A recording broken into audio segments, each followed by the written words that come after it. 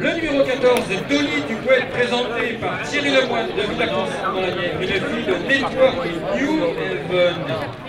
C'est la sœur de Virtuose fille de Voix du Nord, gagnant à Hauteuil, Jean Moiret.